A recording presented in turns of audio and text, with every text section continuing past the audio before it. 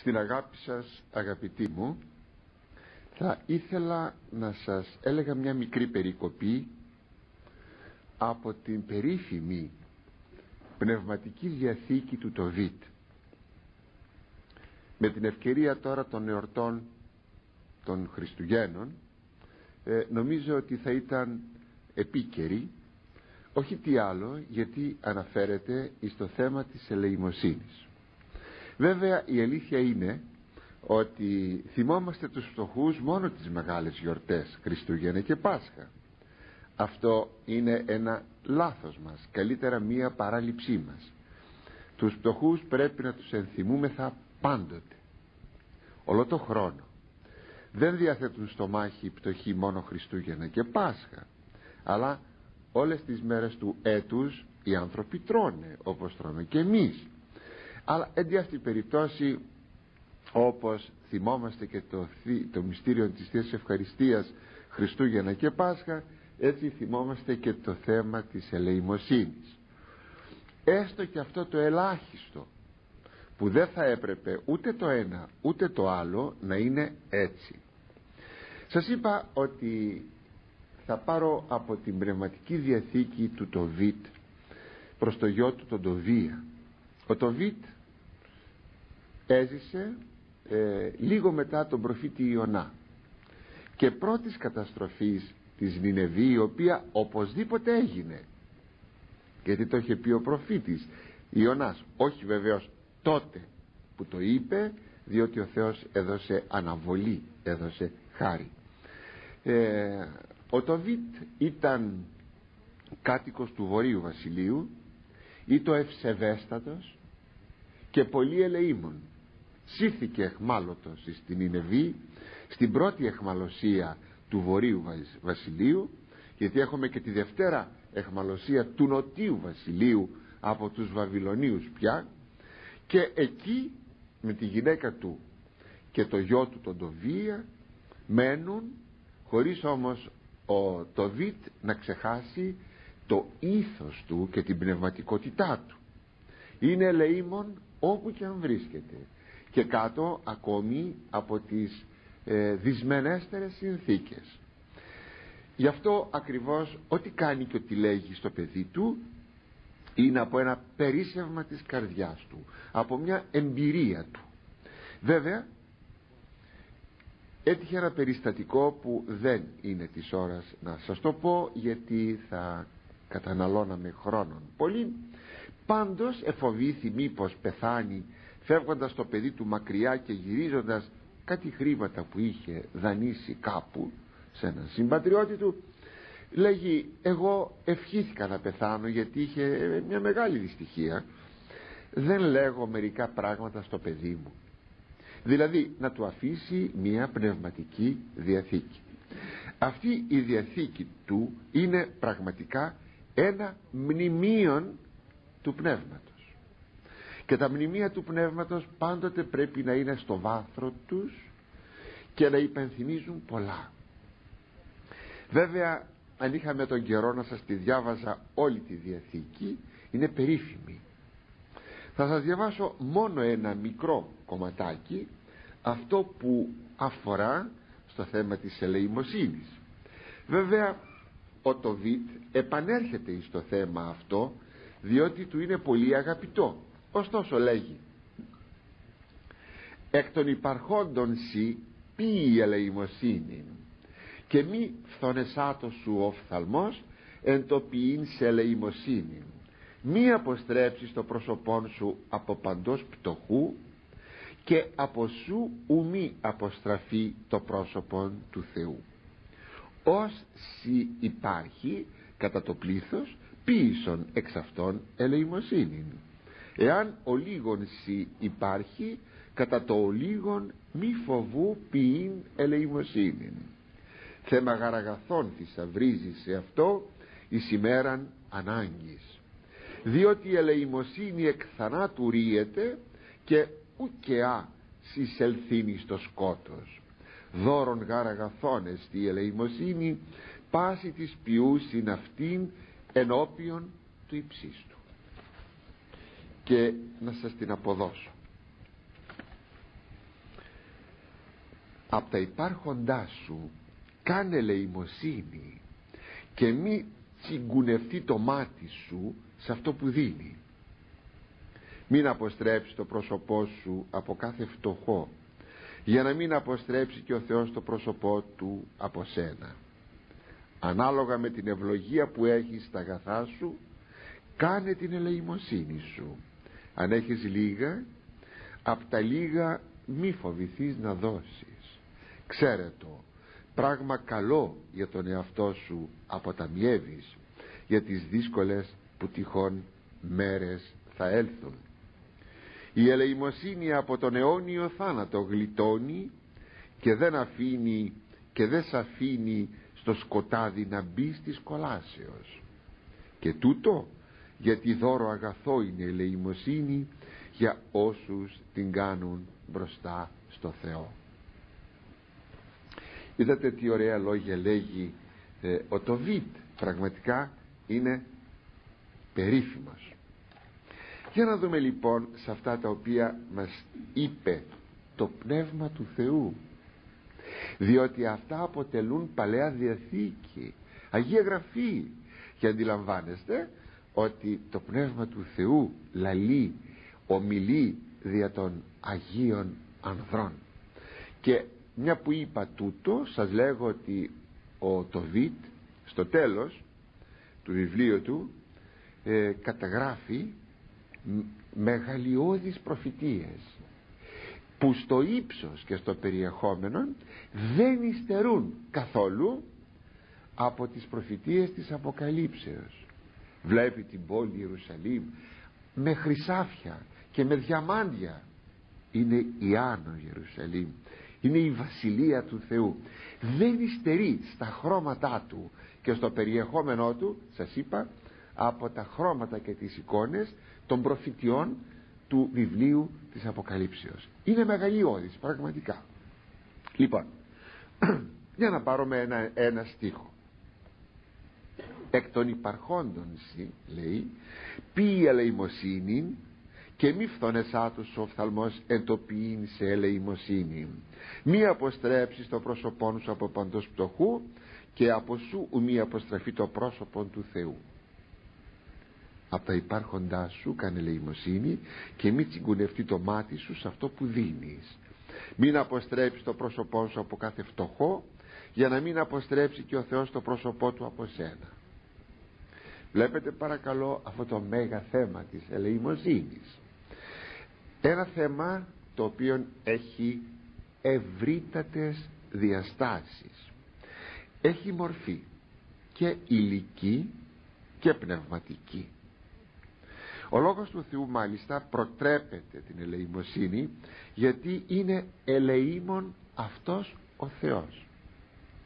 Και όταν μας λέγει ο Κύριος ότι πρέπει να ομοιάσουμε του Θεού να μιμηθούμε τον Θεό. Έσεστον ημις τέλει όσπερο πατήρι μόνο εν της ουρανής τέλειος εστίν όσπερ δηλαδή να είσαστε τέλειοι όπως ο πατέρας σας. Ο ουράνιος είναι τέλειος που σημαίνει ότι τα παιδιά ομοιάζουν του πατέρα.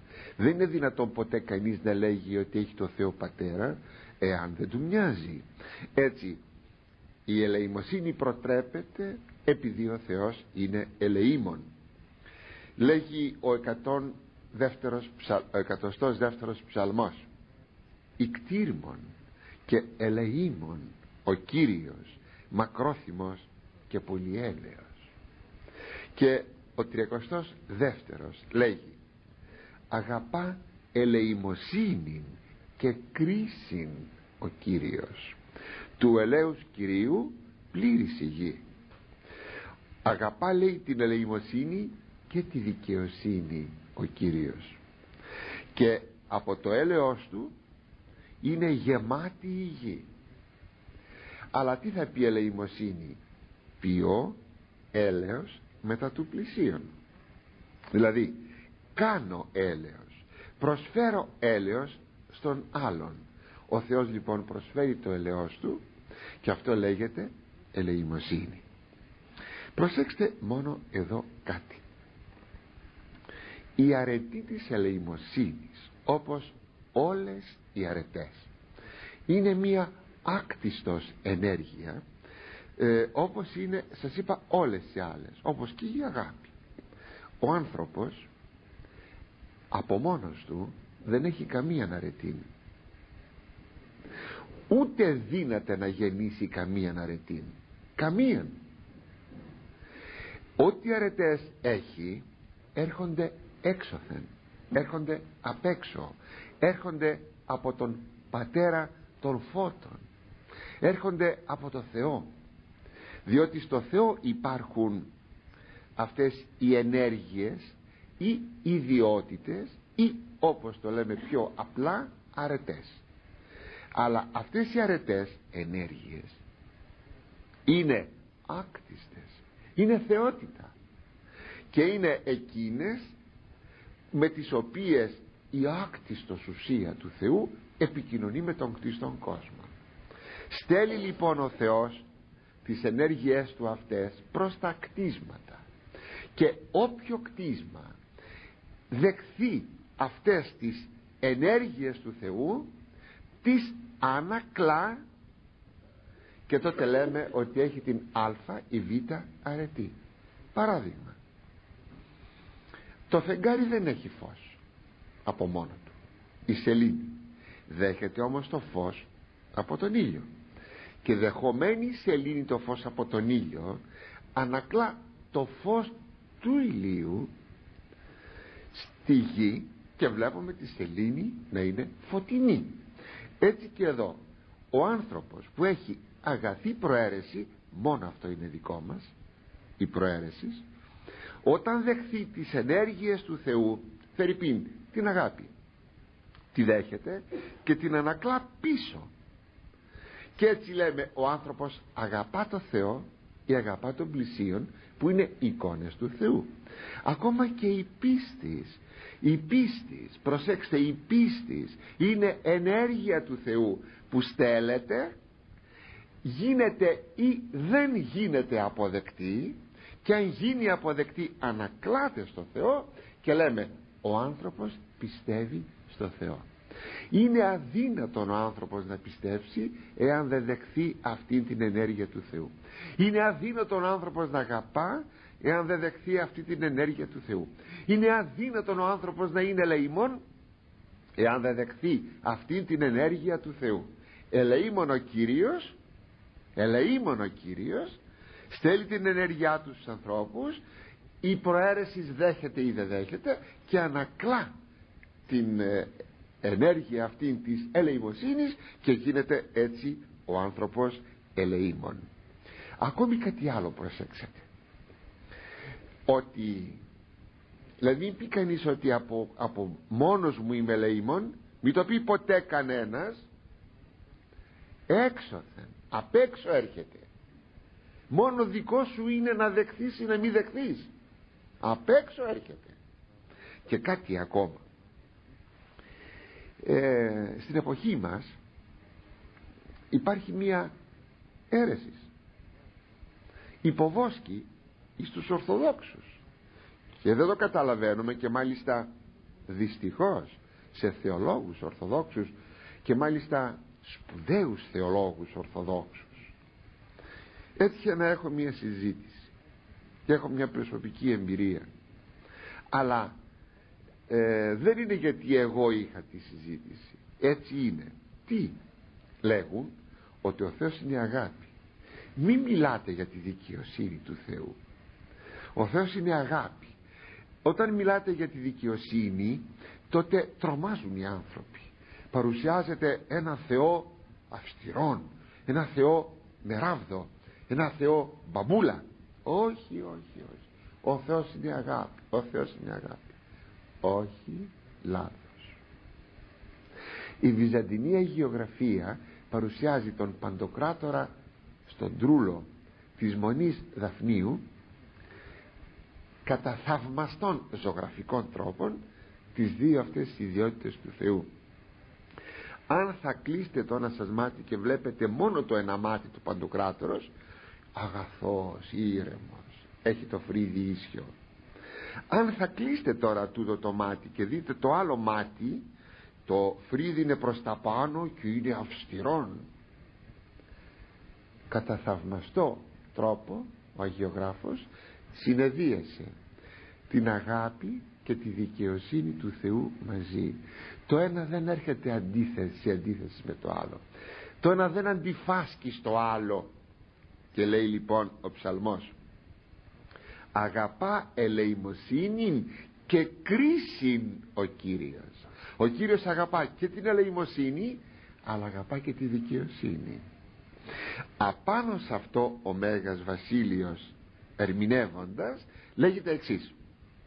Ή καθεαυτήν υπήρχε η του Θεού κρίσης δηλαδή αν υπήρχε μόνη της η δικαιοσύνη του Θεού μόνη της ποια είναι ελπίς τι ελπίδα θα είχε ο άνθρωπος πια από ένα Θεό δίκαιον αλλά ανελεήμονα. Νυν δε αγαπά ελεημοσύνη και κρίση τώρα αγαπά και το ένα και το άλλο. Και την ελεημοσύνη και τη δικαιοσύνη. Ιονί πάρεδρον εαυτό την ελεημοσύνη ποιησάμενος σαν να κάνει πάρεδρο να την έχει πλάι της την ελεημοσύνη. Ούτε η ελεημοσύνη άκριτος ούτε δηλαδή η ελεημοσύνη χωρίς κρίση ούτε η κρίση ανελεήμων ούτε η κρίση χωρίς να υπάρχει το έλεος του Θεού. Πρώτης κρίσεως ουν αγαπά ελεημοσύνη πριν την κρίση αγαπά την ελεημοσύνη. Αν θέλετε θα έρθει να κρίνει ο Χριστός. Βέβαια έχουμε και επιμέρους κρίσεις αλλά τώρα καθολικός. Θα έρθει να κρίνει τον κόσμο. Από την πρώτη του παρουσία έως τη δευτέρα του παρουσία που είναι η λεγόμενη χιλιετής βασιλεία. Αυτή είναι η χιλιετής βασιλεία που λέγει το βιβλίο της Αποκαλύψεως και όχι χίλια χρόνια όπως το θέλουν οι χιλιεστέ και παραρμηνεύουν τα πράγματα. Είναι η περίοδος του Ευαγγελίου. Είναι η περίοδος του ελέους του Θεού. Είναι η περίοδος της αγάπης του Θεού της ελεημοσύνης του Θεού. Όταν θα έρθει ξανά εκεί τελειώνει το έλεος του Θεού και αρχίζει η κρίση βεβαίως. με στην ιστορία υπερτερεί η ελεημοσύνη του Θεού. Και δεν υπερτερεί η κρίση όμως δεν πάβει ο Θεός. Δεν πάβει ο Χριστός να είναι και ελεημοσύνη και κρίση. Μην το ξεχνάμε αυτό. Και λέγει πρώτης κρίσεως λέγει ο Μέγας Βασίλειος ουν αγαπά ελεημοσύνη πριν την κρίση αγαπά την ελεημοσύνη. Και μετά την ελεημοσύνη έρχεται επί την κρίση. Και μετά θα έρθει να κρίνει τον κόσμο. Η ελεημοσύνη αγαπητή μου είναι η ωραιοτέρα έκφρασης της αγάπης. Και επειδή ο Θεός είναι αγάπη γι' αυτό είναι και ελεήμων. Εκθιάζοντας την ελεημοσύνη ο Ιερός Χρυσόστομος λέγει λέγω δι την ελεημοσύνη την βασιλίδα των αρετών. Λέγω λοιπόν για την ελεημοσύνη που είναι η βασίλισσα των αρετών. Την ταχαίως ανάγουσαν εις τας αψίδας των ουρανών τους ανθρώπους την συνήγορον την αρίστην αυτή που γρήγορα γρήγορα ανεβάζει στις πύλες στις αψίδες των ουρανών τους ανθρώπους και είναι η καλύτερα για τους ανθρώπους συνήγορος. Μέγα πράγμα ελεημοσύνη συνεχίζει ο Ιερός Πατήρ. Μεγάλα τα πτερά της ελεημοσύνης τέμνει τον αέρα. Παρέρχεται την σελήνη. Παρατρέχει τα σανωτέρας πάσας δυνάμεις και αυτό παρίσταται το θρόνο το βασιλικό. Τι κάνει; Μεγάλα τα φτερά λέγει της ελεημοσύνης. Σκίζει τον αέρα. Περνάει τη σελήνη τα στέρια παρατρέχει ακόμα τις ουράνιες ανώτερες ουράνιες δυνάμεις και έρχεται να σταθεί μπροστά στο θρόνο του Θεού το βασιλικό. Είδατε πόσο ωραία δείχνει και παρουσιάζει ο Ιερός Πατήρ την αρετή αυτή γι' αυτό ο Τοβίτ αγαπητοί μου θεοπνεύστος ομιλεί για την ελεημοσύνη. Λέγει ο Όσιος Μάξιμος ο ομολογητής. Ελεημοσύνης χωρίς άκαρπος η ψυχή. Εάν η ψυχή δεν έχει δεν φέρει μαζί της την ελεημοσύνη είναι άκαρπη. Γι' αυτό και συνιστά ο το βίτ να γίνεται ελεημοσύνη εκ των υπαρχόντων. Δεν είναι απαραίτητο να είσαι πλούσιος μη λέει κανείς άνα ήμουν πλούσιος να δεις τι θα έδινα δεν είναι. Δεν είναι επιχείρημα αυτό. Δώσε από τα υπάρχοντά σου. Είναι πολλά. Δώσε πολλά. Είναι λίγα. Δώσε λίγα. Την πρωτοχρονιά όταν τεμαχίζουμε τη Βασιλόπιτα εκεί ο οικοδεσπότης τη σταυρώνει ε, και κατόπιν την τεμαχίζει. Κόβει ένα-ένα κομμάτι και λέει ε, η πρώτη μερίδα είναι του Χριστού. Η δεύτερη μερίδα είναι της Παναγίας. Η τρίτη μερίδα είναι του Μεγάλου Βασιλείου. Η τέταρτη μερίδα άραγε πιανού να είναι του σπιτονικοκύρη είναι του πτωχού που δείχνει ότι δεν πρέπει να λείπει από τον οπτικό μας ορίζοντα η παρουσία του πτωχού και ότι του βγάζουμε ένα κομμάτι του βγάζουμε μια μερίδα. Είναι αυτό πάρα πολύ σπουδαίο και αυτό σαν έθιμο χριστιανικότατο και ελληνικότατο δείχνει με μια ωραία πράξη αυτά που τόση ώρα λέμε. Ο Αποστόλος Πέτρος κάποτε είπε σε έναν χολό ε, του ζητούσε ελεημοσύνη δεν είχε τίποτα μαζί του. Του λέει αργύριον και χρυσίων ούχ υπάρχει μη δεν έχω να σου δώσω χρήματα. Ο έχω τούτος σιδίδωμη αυτό που έχω σου δίνω βέβαια εκείνο που είχε ήταν πολύ μεγάλο. Του είπε να σηκωθεί όρθιος και να περπατήσει. Αλλά εν αυτή περιπτώσει και μια ακόμη παρατήρηση του το βιτ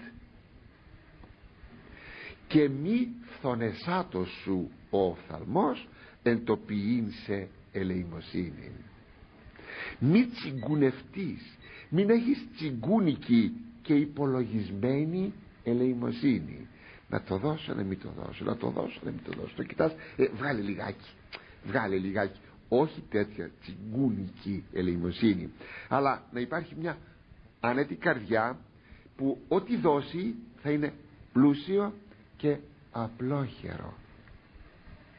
Και ακόμη μια παρατήρηση λέει ο Τοβίτ. Και μία αποστρέψει το πρόσωπό σου από παντός πτωχού. Μη γυρίσεις το πρόσωπό σου από την άλλη μεριά από κάθε πτωχόν. Πρόκειται για το γύρισμα αυτού του προσώπου από το μέρος που αισθανόμαστε ενόχληση. Γιατί συνήθως αισθανόμεθα ενόχληση με την παρουσία ενός πτωχού είναι το κλείσιμο της καρδιάς. Και προσέξατε τι λέγει από παντός πτωχού εδώ έχουμε δύο απόψεις. Και οι δύο είναι πατερικές. Αν το θέλετε ανακλούν ε, απόψεις δύο αγιογραφικές.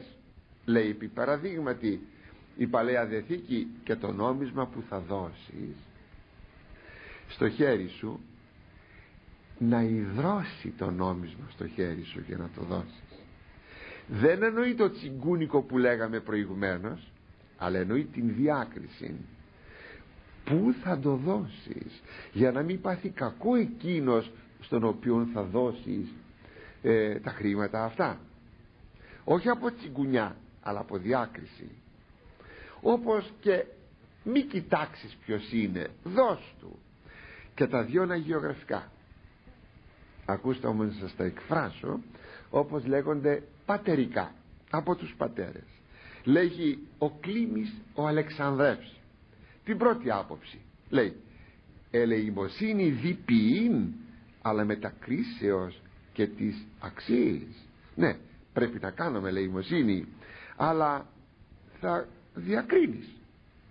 Και ακόμη θα δώσεις εις τους αξίους που πρέπει να δεχθούν ελεημοσύνη όχι σε κάποιον που δεν θα έπρεπε να δεχθεί ελεημοσύνη η δευτέρα άποψη του Ιερού Χρυσοστόμου είναι λέγει σιτίνιν σι λοιπόν όταν ελεημοσύνη πεις όταν κάνεις ελεημοσύνη μη βίων εξετάσεις. Μη καθίσεις να εξετάσεις είναι καλός δεν είναι καλός απατάει τη γυναίκα του τα τρώει πίνει κρασί στα, στα καπηλιά μη δε τρόπον ευθύνας απέτει ούτε να ζητάς υπευθυνότητα συμπεριφοράς. Ελεημοσύνη γάρ δια τούτο λέγεται. Γι' αυτό λέγεται ελεημοσύνη. Είναι και τις αναξίες παρέχομεν για να μπορούμε να δίνουμε και εις τους αναξίους. Αυτό αντιστοιχεί με εκείνο που λέει ο ίδιος ο Χριστός. Ο Θεός λέγει βρέχει επί δικαίους και αδίκους.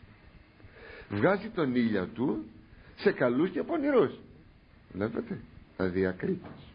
Πάντως και οι δύο θέσεις δεν έρχονται σε αντίθεση αλλά άλλοτε η μία άλλοτε η άλλη. Στον πνευματικό άνθρωπο που έχει το πνεύμα του Θεού δηλαδή δεν υπάρχει ποτέ αντίφασης από τη λέγει ο λόγος του Θεού ή οι πατέρες που ερμηνεύουν το λόγο του Θεού. Είναι θέμα πως κάποια στιγμή θα ειδείς αυτό που θα δεις. Πως θα το δεις.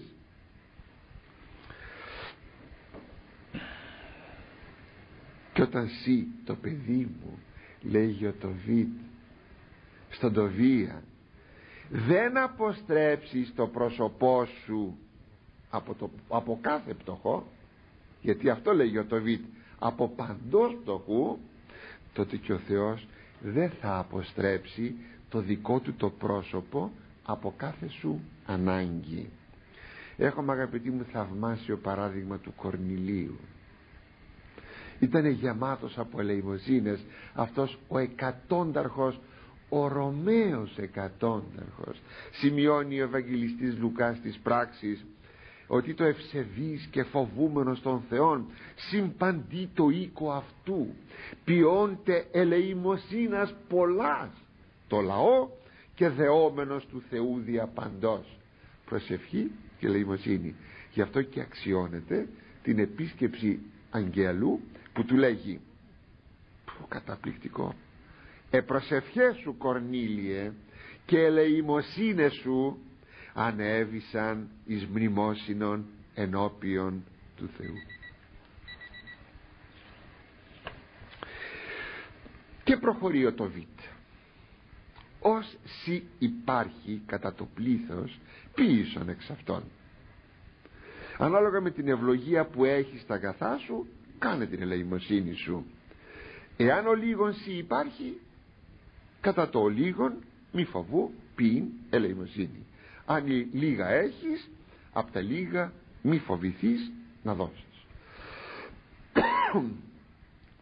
Όταν ο Κύριος αγαπητή μου μακαρίζει και λέγει μακάρι οι ελεήμονες ότι αυτοί ελεηθήσονται πρέπει να σας πω ότι δεν λέγει ότι οι πλούσιοι να κάνουν ελεημοσύνη και οι πτωχοί όχι. Το θέμα το αφήνει ακαθόριστο. Μακάρι οι ελεήμονες που δείχνει ότι η ελεημοσύνη μπορεί να κάνει και ο πλούσιος και ο πτωχός. Και παίρνει την ελαχίστη περίπτωση σε όλους τους μακαρισμούς το χρησιμοποιεί αυτό. Όταν λέγει επί παραδείγματι στην κρίση εκεί ασθενής ημίν και επεσκέψασθέ με ήμουν άρρωστος και με επισκεφθήκατε προσέξτε. Δεν λέγει μου φέρατε το γιατρό δεν λέγει μου φέρατε φάρμακα δεν λέγει κάνατε θαύμα και με θεραπεύσατε διότι τότε θα μπορούν οι άνθρωποι να πούν κύριε είμαι θα πτωχοί δεν μπορούσαμε να πληρώσουμε γιατρό δεν μπορούσαμε να αγοράσουμε φάρμακα και ακόμη δεν είχαμε το χάρισμα της ιάσεως για να σε θεραπεύσουμε δηλαδή εννοείται εσένα στο πρόσωπο του ασθενούς. Τι λέγει; Επεσκέψαστε με με επισκεφθήκατε. Για να επισκεφθείς δεν έχεις ανάγκη ούτε από χρήματα ούτε από τίποτα ούτε από ιδιαίτερα χαρίσματα. Περί το μίνιμουμ το ελάχιστο έτσι και εδώ. Όταν λέγει μακάρι οι ελεήμονες. Δεν εννοεί ότι πρέπει να έχεις για να ελεήσεις. Ό,τι έχεις, ό,τι μπορείς. Και ο πιο φτωχός μπορεί να δώσει. Δεν έχω παρά να σας θυμίσω το δίλεπτον της χείρας. Και ο Κύριος είπε ότι αυτή έβαλε όλη της την περιουσία σας θυμίζω ακόμη μια άλλη χείρα που συμπεριέλαβε στο ελάχιστο σιτηρέσιο των παιδιών της και τον προφήτη Ηλία. Που λέει να δυο ξυλάκια βγήκα να μαζέψω λίγο αλευράκι έχω και λίγο λαδάκι αυτά θα φάμε και θα πεθάνουμε μετά δεν έχουμε πείνα ήτανε πείνα. Αν λοιπόν γίνει πείνα και τότε ακόμη μπορούμε να δώσουμε ελεημοσύνη ναι αγαπητοί μου και τότε ακόμη μπορούμε να δώσουμε ελεημοσύνη. Η ελεημοσύνη δεν σταματάει κάτω από οποιασδήποτε συνθήκες και προϋποθέσεις δεν υπάρχουν. Ναι θα σας πω ένα μικρό παράδειγμα. Το έχω ήδη πει στους Λαρισαίους κατ' επανάληψη αλλά είναι πολύ χαρακτηριστικό ήταν τα χρόνια της κατοχής. Αυτό που σας θα σας πω μου το είπε ο ίδιος ο άνθρωπος. Ο ίδιος ο ίδιος. Ένας αγρότης ενός χωριού μας. Εδώ της περιφερείας μας. Δηλαδή στην περιφέρεια. Ήταν κατοχή. Βέβαια οι άνθρωποι πεινούσαν. Είχε αυτός ένα μικρό περιβολάκι γύρω από το σπίτι του. Ήταν καλοκαίρι και εμφανίστηκε ένα νεαρό παιδί μικρός. Μπορεί 15 χρονών κάπου εκεί. Του λέει θύε εδώ λένε και μάλιστα να σας το πω θείου ναι θύε ε, δώσ' μου μια ντομάτα να φάω γιατί πεθαίνω του δώσα αυτό μια ντομάτα. Και σε λίγα χρόνια μετά από την κατοχή είχαμε τη γνωστή περιπέτεια του ανταρτοπολέμου, του εμφυλίου πολέμου. Τον άνθρωπο αυτόν τον συνέλαβαν και τον πήγανε στο βουνό για εκτέλεση, μαζί με πολλούς άλλους. Τους είχαν βάλει στη σειρά για να τους εκτελέσουν. Τότε εμφανίζεται ένας αντάρτης, πάει και, τον, και του λέει έλα μαζί μου αυτός έμεινε έκπληκτος. Βέβαια αντάρτησαν αυτός είχε το δικαίωμα να επέμβει για μια στιγμή. Τον παίρνει αυτόν και πάνε κάπου μακριά. Του λέει με θυμάσαι; Όχι είμαι εκείνο το παιδί που μου έδωσες εκείνη την ντομάτα. Αν δεν μου την είχες δώσει θα είχα πεθάνει από την πείνα. Φύγε και πήγαινε σπίτι σου μου το είπε ο ίδιος ο άνθρωπος. Αγαπητοί μου κάτω από τις δυσμενέστερες συνθήκες μπορούμε να μοιραστούμε αυτό που θα φάμε με εκείνον που πράγματι πεινάει και πεθαίνει ακόμη από την πείνα ό,τι κι αν συμβεί. Γι' αυτό λέγει ο Τοβίτ Θεοπνεύστος μη φοβού ποιήν ελεημοσύνη μη φοβάσαι ότι θα πτωχύνεις ότι θα στερηθείς. Μη φοβάσαι να κάνεις την ελεημοσύνη. Η ελεημοσύνη ποτέ δεν φτωχαίνει τον άνθρωπο γιατί πίσω από αυτήν είναι ο πλούσιος ελεήμων Θεός. Γι' αυτό και βεβαιώνει ο Θεός διαστόματος ψαλμοδού εις των 36 ψαλμών λέγει εκεί από εμπειρία του όλη την ημέρα ελεεί και δανείζει ο δίκαιος και το σπέρμα αυτού εις ευλογίαν έστε. Σπέρμα θα πει τα παιδιά του ή απογονή του. Όλη την ημέρα λέγει και λέει και δανείζει εννοείται χωρίς τόκο απλώς με επιστροφή αυτό που θα δώσει χωρίς τόκο το ξαναλέγω.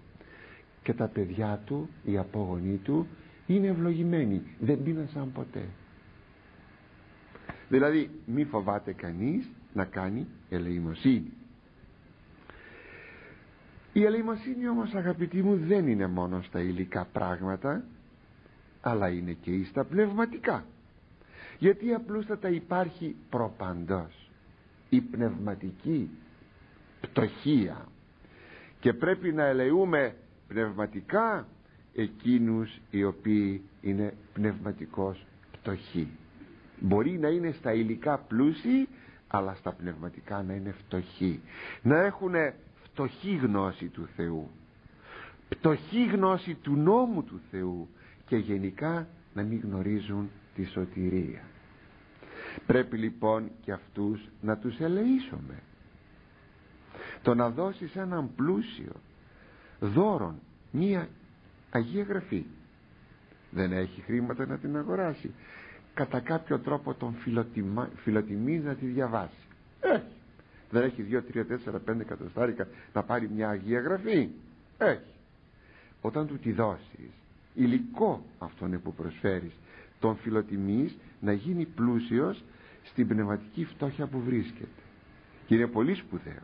Ακόμα και η προσφορά στο έργο και τη λατρεία του Θεού. Το έργο ποιο είναι του Θεού; Οτιδήποτε που αφορά στη δόξα του Θεού. Το να χτιστεί ένας ναός και λοιπά η λατρεία, η λατρεία του Θεού που είναι το κορυφαίο, το κατεξοχήν. Το πιο ελάχιστο που έχει κανείς να προσφέρει είναι το πρόσφερο και το κρασί.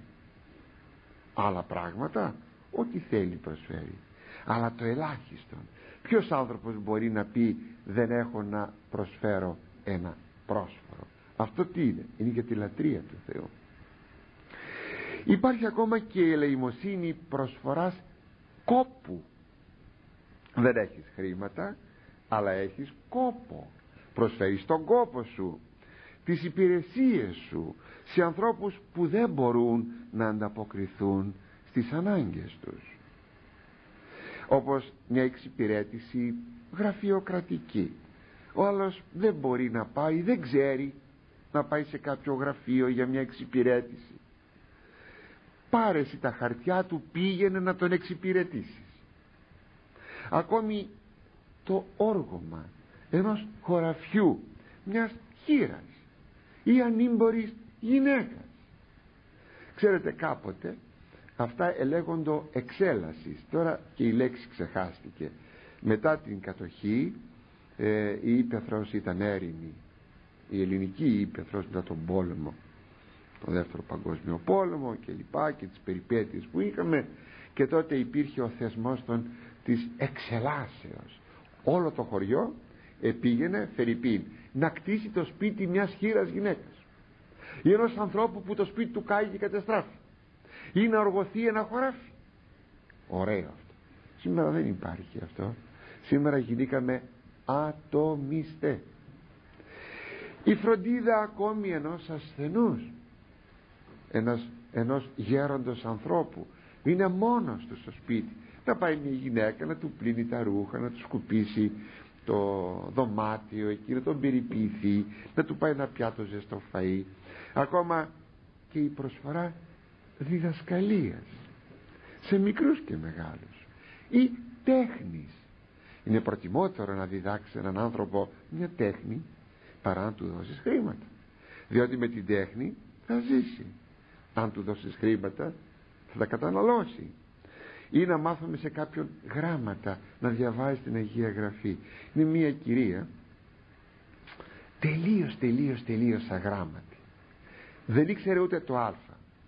Ε κάποιο πρόσωπο εκεί τη βοήθησε να αρχίσει να διαβάζει. Αγαπητοί μου έχει διαβάσει ολόκληρη την Αγία Γραφή και την Καινή και την Παλαιά Διαθήκη. Και έρχεται μια μέρα και μου λέει γιατί σε μένα εξομολογείται μου λέει ε διάβασα ολόκληρη την Παλαιά Διαθήκη. Αγράμματη ήταν δεν έχει κέρδος εκείνος που την έμαθε μερικά γράμματα διότι έτσι διαβάζει το Λόγο του Θεού. Ή ακόμα σε παιδιά που υστερούν να τα βοηθήσουμε ε, κάνοντας ένα χωρίς χρήματα ένα φροντιστηριάκι του δημοτικού παιδιά, του γυμνασίου. Παιδιά που ε, εμείς που έχουμε κατά κάποιο τρόπο μια κατάρτιση τα βοηθάμε αυτό είναι μια ελεημοσύνη. Ακόμη να πάρεις ένα τυφλόν άνθρωπο να τον περάσεις από το πεζοδρόμιο στο άλλο πεζοδρόμιο. Αυτό δεν είναι ελεημοσύνη. Μάλιστα μια που είπε αυτό κάποτε ένας τυφλός ζητούσε ελεημοσύνη στον δρόμο. Και δεν είχε ε, χρήματα κάποιος που περνούσε. Ψάχνει για μια στιγμή την τσέπη του. Αχ του λέει ήθελα να σου δώσω κάτι αλλά ξέχασα το πορτοφόλι στο σπίτι μου αλλά του παίρνει το χέρι του τυφλού με μια γερή χεραψία και του λέει κουράγιο αδελφέ και εκείνος είπε πολλοί μου δώσανε ελεημοσύνη κανείς όμως δεν πήρε το χέρι μου να μου δώσει κουράγιο και αυτό ήταν ελεημοσύνη ακόμη τον οδηγήσεις να πάρεις έναν άνθρωπο που είναι παράλυτος είναι ανήμπρος είναι σε ένα καροτσάκι. Το ξέρω αυτό γίνεται το να πάει μια κυρία ένας κύριος να πάρει τον άνθρωπο αυτόν και να τον πάει στην εκκλησία. Με το καροτσάκι. Τον πάει στην εκκλησία. Να τελειώσει η εκκλησία και να τον επιστρέψει πίσω. Η επίσκεψη ασθενών και στα σπίτια και ή στο νοσοκομείο. Ακόμη και προσφορά θα λέγαμε υπηρεσιών. Ε, κάνε μου ένα τηλεφώνημα να πει ο άνθρωπος που είναι στο νοσοκομείο στο σπίτι ξέρω εγώ σε ένα συγγενή του κάνε ένα τηλεφώνημα σε παρακαλώ. Φέρε μου εκείνο ή εκείνο που έχω ανάγκη. Αυτός ο θεσμός των εθελοντριών νοσοκόμων. Τι ωραίος που είναι. Είναι κάποια κυρία πήρε τώρα τη σύνταξή της ήταν η κοινωνική λειτουργός και μία ή δύο φορές την εβδομάδα βάζει τη στολή της στη Λευκή και πηγαίνει στο νοσοκομείο μας και προσφέρει τις υπηρεσίες της. Εννοείται χωρίς χρήματα εθελοντικά ακόμη να προσφέρει αίμα αυτό δεν είναι ελεημοσύνη αλλά αγαπητοί μου θα σας κουράσω αναπαριθμίσω αναπαριθμίσω και απαριθμώ τόσες και τόσες περιπτώσεις. Αν ο άνθρωπος κλείσει στην καρδιά του την αγάπη του Χριστού μυρίους τρόπους μπορεί να επινοεί αρκεί να θέλει να είναι ελεήμων και ευεργετικός. Και συνεχίζει ο Ταβίτ. Θέμα γάρα καθόν θησαυρίζεις σε αυτό η σημέρα ανάγκης. Ότι θησαυρίζεις για τον εαυτό σου σπουδαίο πράγμα για την ημέρα που θα έχεις εσύ ανάγκη μην ξεχνάμε ότι για όλους μας υπάρχουν κάποιες ημέρες ανάγκης. Σήμερα εσένα αύριο εμένα πρόσφυγας είσαι εσύ σήμερα είμαι εγώ. Άρρωστος είσαι εσύ σήμερα αύριο είμαι εγώ. Και ούτω καθεξής. Γέρος είσαι εσύ σήμερα αύριο είμαι εγώ. Μην το ξεχνάμε λοιπόν. Γι' αυτό η ελεημοσύνη κατατίθεται σε ειδική τράπεζα που παίρνει τόκο και κεφάλαιο σε ημέρα ανάγκης. Και αυτή η ειδική τράπεζα αυτό το ειδικών ταμιευτήριων είναι η τράπεζα του ουρανού. Και αυτά εις την παρούσα ζωή αγαπητοί μου για τη μέλουσα. Ο Κύριος για τη μέλουσα είπε τα εξής λέγοντας να δίδομαι ελεημοσύνη ποιήσατε λέει εαυτής φίλους εκ του μαμονά της αδικίας δηλαδή κάνετε φίλους για τους εαυτούς σας με τα χρήματα από τα χρήματα. Δεν εξηγώ ότι θα πει μαμονάς αδικίας για να μην αργώ. Είναι όταν εκλείπετε ώστε όταν θα φύγετε από τον παρόντα κόσμο δέξονται ημάς εις τα αιωνίου σκηνάς. Οι καλές πράξεις μας θα είναι τι είπε ο Ιερός Χρυσόστομος; Συνήγορος λέγει. Θα είναι οι καλύτεροι συνήγοροι δικηγόροι. Αυτή είναι η συνήγοροι. Οι καλύτεροι συνήγοροι στο Θεό θα είναι οι καλές μας πράξεις ακόμη συνεχίζει το Β διότι η ελεημοσύνη εκ θανάτου ρίεται και ουκ εά εισελθήν εις το σκότος.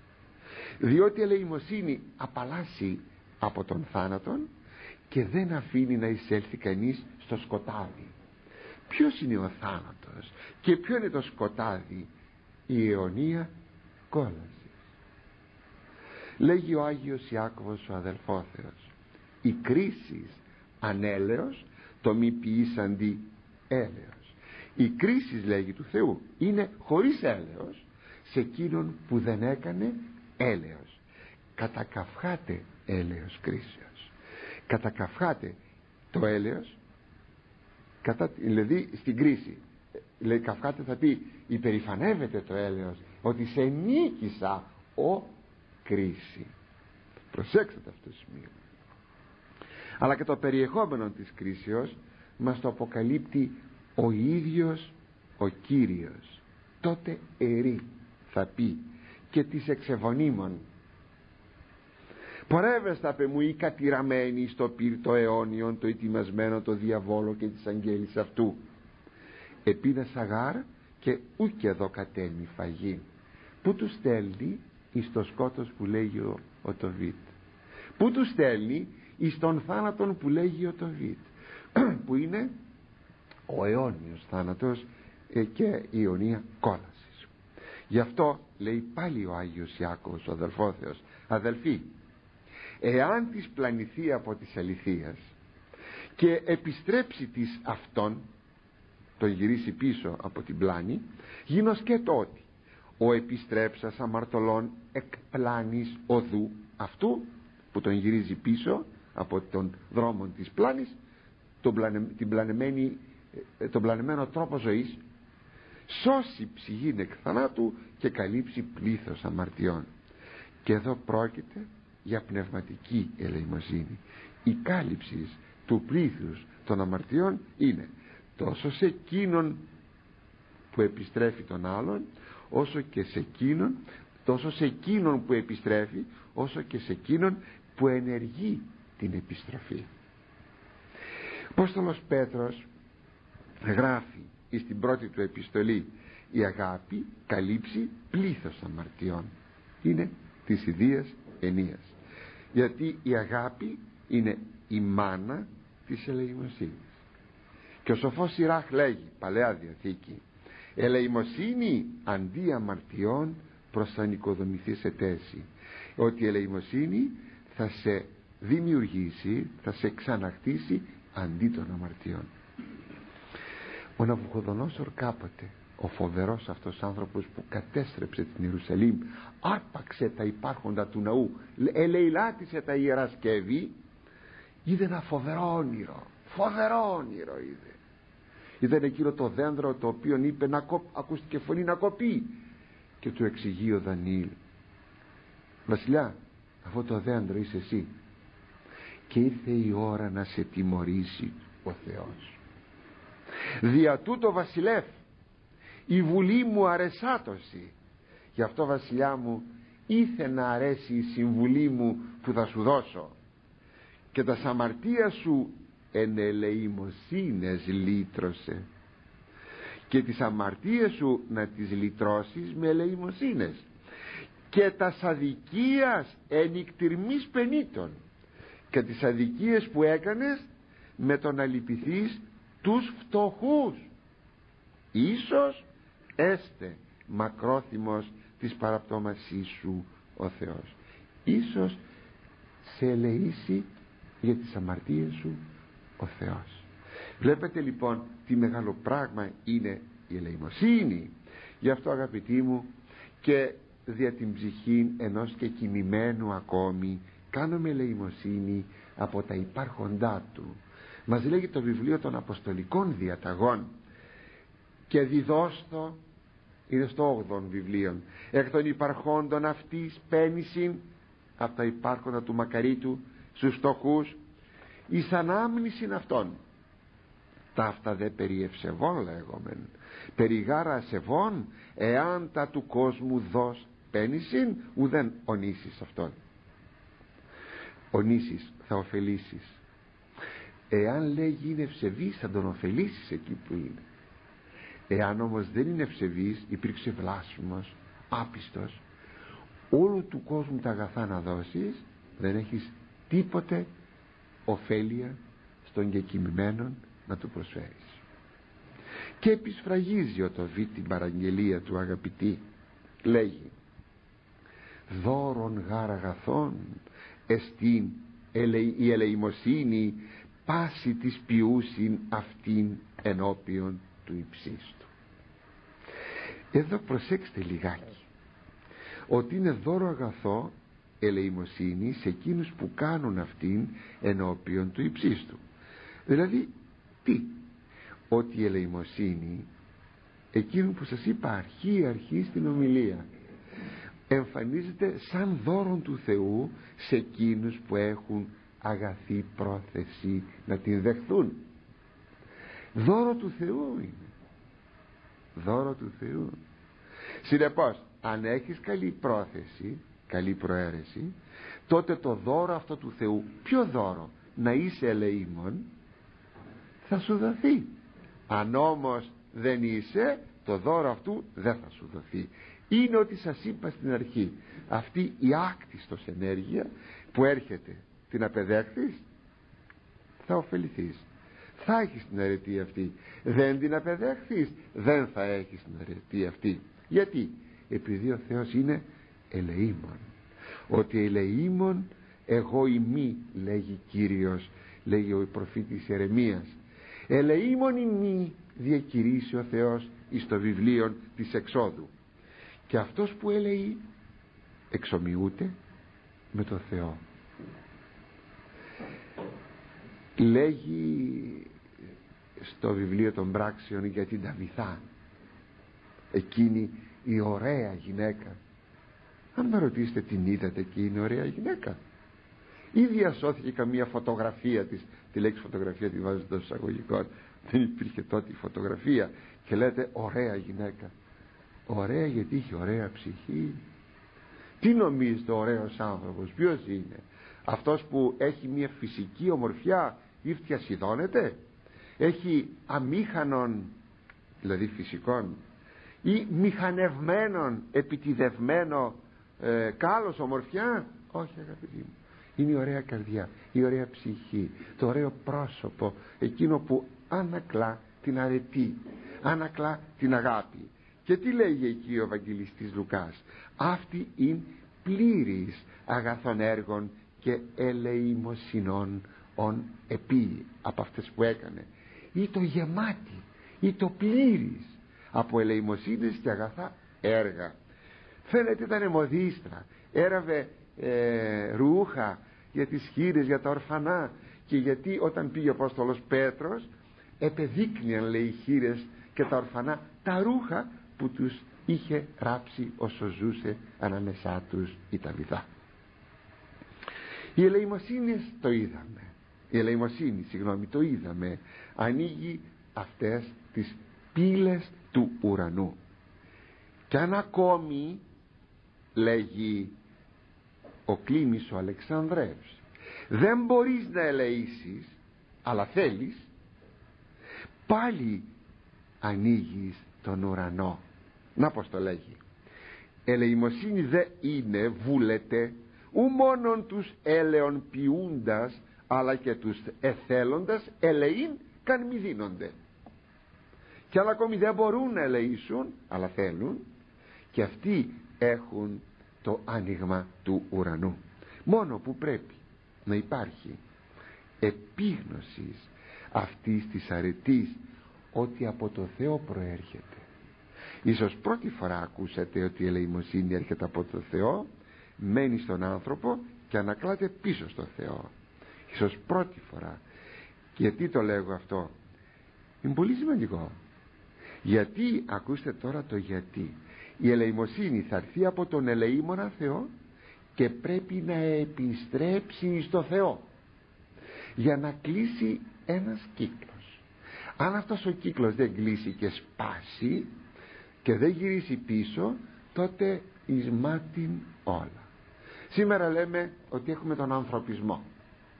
Επιτρέψατε μου δυο λόγια. Ο ανθρωπισμός ο σύγχρονος είναι εγωκεντρικός. Λέμε η UNICEF. Για τα παιδιά που πεινάνε. Αυτά όμως που πουλάνε κάρτες και τα λοιπά δώστε για τον τρίτο κόσμο αγαπητοί μου.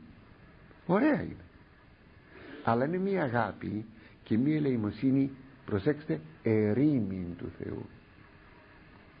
Και συνεπώς κάθε αρετή που δεν ξεκινάει από το Θεό αλλά από αυτή την ίδια τη φύση του ανθρώπου γιατί η φύση του ανθρώπου είναι αγαθή. Ξέπεσε ο άνθρωπος. Αυτή η αρετή η όποια αυτή πέφτει στο κενό. Στο κενό όχι μόνος στο κενό αλλά απολύγει και κατάρα. Κατάρα! Ναι ακούσατε το πως το λέγει αυτό ο Απόστολος Παύλος. Και είναι επιγραμματικός ο Απόστολος και σαφής. Παν ο ουκ εκπίστεως αμαρτία εστί.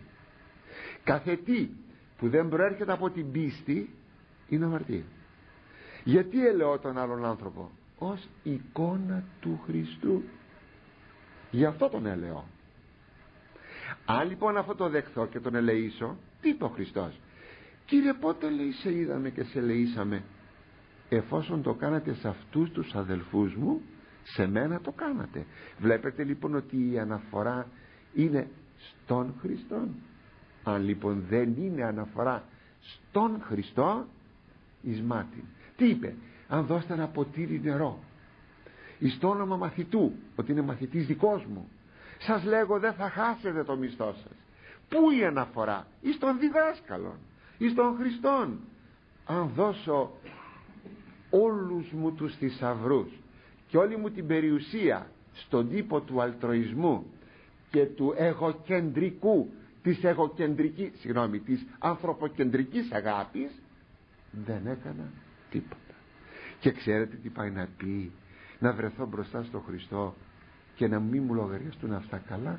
Τι λέει ο Απόστολος Παύλος; Ο, ο αθλητής δεν, αθλ, δεν στεφανούται εάν μη νομίμως αθλήσει. Ποια είναι η νόμιμος άθλησης; Η νόμιμος άθλησης είναι αυτό που κάνεις το κάνεις για τον Χριστό ούτε από δικό σου καπρίτσιο ούτε γιατί αυτή, αυτά η καρδούλα σου θέλει ούτε γιατί η κελοδοξία σου σου το υπαγορεύει για να γεμίζει η άδεια σου, ο άδεια σου χρόνος γιατί οι κυρίες σήμερα έχουν άδειους χρόνους και δεν ξέρουν πού να τους σκοτώσουν. Παίζουν και τα χαρτάκια τους κάνουν και μερικά τέτοια έργα για να γεμίζει ο καιρός τους. Όχι. Ή να γραφεί το όνομά μου σε κάποια πλάκα ή να γράψουν οι εφημερίδες. Όχι. Γιατί το θέλει ο Χριστός γι' αυτό το κάνω και είναι σπουδαίο. Και έτσι όταν η ελεημοσύνη γίνεται και κάτι ακόμα πρέπει να είναι καρπός μιας ευγνωμοσύνης μου προς το Θεό. Γιατί εμένα με ελέησε ο Θεός και εγώ τώρα θέλω να δείξω την, ελεημο, την ελεημοσύνη μου ως δείγμα ευγνωμοσύνης. Γι' αυτό λέγει ο Αβάς δωρόθεος ακούστε. Ούτως διδόντες ως αυτοί λαμβάνοντες αν έτσι δίνετε επειδή και εσείς παίρνετε και αυτή εστίν η εγνώση ελεημοσύνη. Αυτή είναι η ενεγνώση ελεημοσύνη η κατεπίγνωση. Ξέρω τι κάνω. Ξέρω γιατί ελεώ. Όχι γιατί έτσι η καρδούλα μου λυπήθηκε. Όχι. Εν ονόματι του Χριστού κάνω αυτό που κάνω. Και το κάνω γιατί και εγώ έχω ελεηθεί και όσο δίνεις αδελφέ τόσο λαμβάνεις.